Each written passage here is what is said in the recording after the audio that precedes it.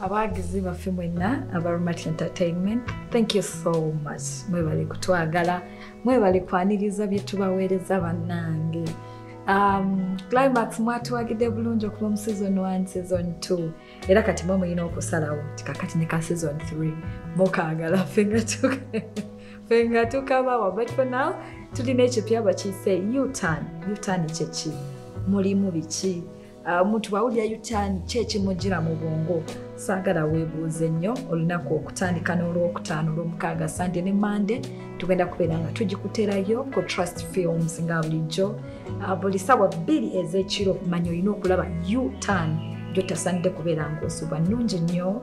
Nnyo ffe twewaayo okubeera nga tubawe bye bibasanyusa ebibazimba.